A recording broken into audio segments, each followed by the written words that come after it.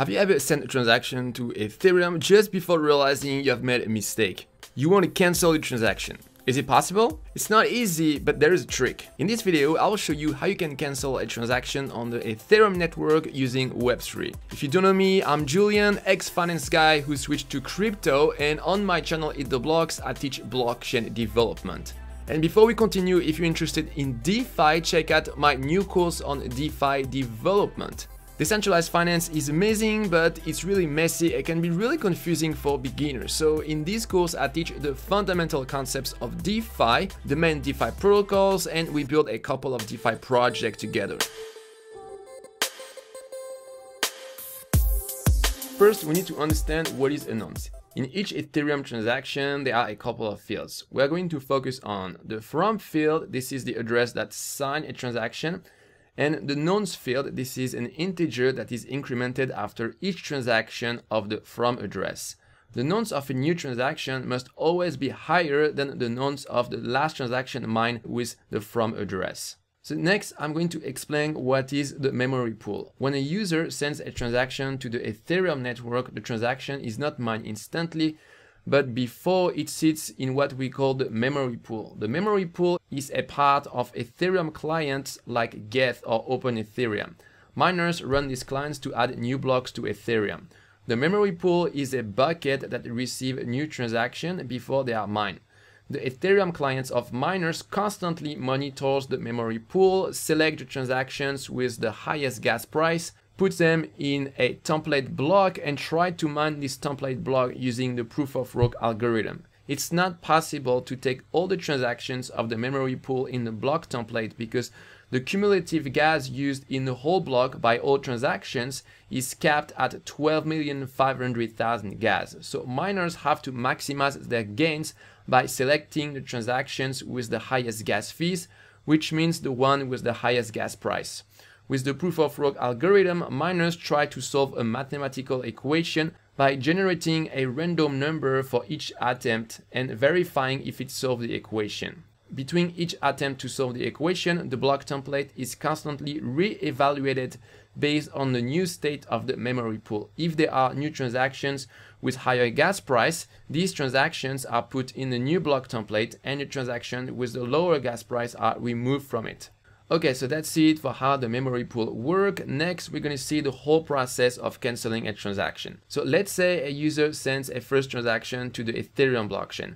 This transaction goes to the memory pool of miners. Then the user realizes he made a mistake and wants to cancel his transaction. The user is going to send another transaction that does nothing. For example, sending 0 ether to his own address. The trick is that for this new transaction, we are going to use the same nonce as the previous transaction and higher gas price. The second transaction is sent to the network and also goes to the memory pool of miners. The Ethereum client of miner realized that we have two transactions with the same nonce but a different gas price. We cannot have two transactions with the same nonce. This is against the rules of the Ethereum blockchain. So the Ethereum client is going to remove from the memory pool the transaction with the lowest gas price. And at the end, we only have the second transaction left in the memory pool. It's as if the first transaction was never sent.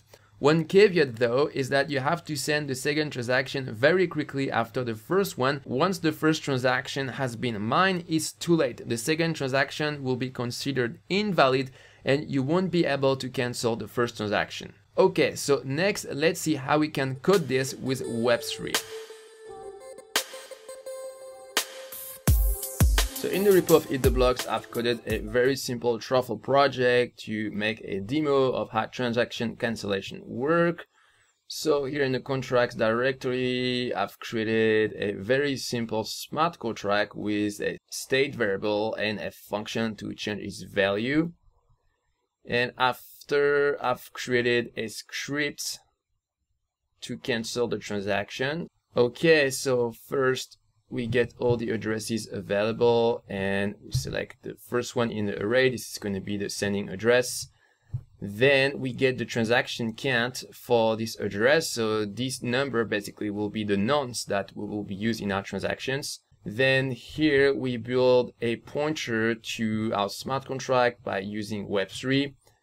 Then here we send a first transaction to our smart contract And just after we realize we made a mistake and we want to cancel this, so we send a second transaction where we are basically going to send zero ether from our address to our own address. We're going to use the same nonce as before and for the gas price, we are going to use a higher gas price as before. And so this transaction is going to replace the first one on the blockchain. And finally, we check that our cancellation work by console logging the value of the data variable and making sure that it wasn't affected by the first transaction. So I try my script by using Ganache, the local development blockchain. So for that, in one terminal, I run Ganache CLI with an option to change the block time to 15 seconds. Otherwise, this is set on automine and we have no way of testing our script properly.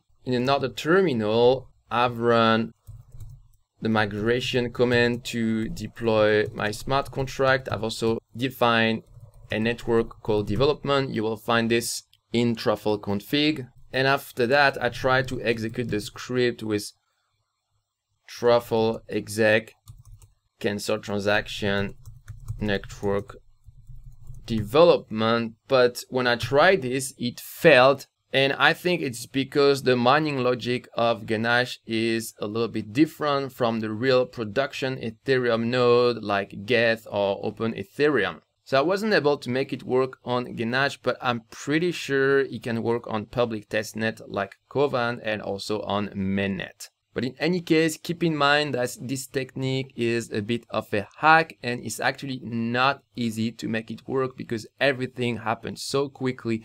So it's really easy for the second transaction to arrive too late on the blockchain. But for your own understanding as a blockchain developer, it's important to understand how this mechanism works. Once you understand how to cancel a transaction from the backend, the next question is how to do it from the frontend. For example, you could add a cancel button to your frontend so that users can cancel their transactions. I tried to do it from the frontend of a dApp using the Ethers library and MetaMask, but unfortunately it failed. I found out this is because MetaMask ignores the value of the nonce you provide from Web3.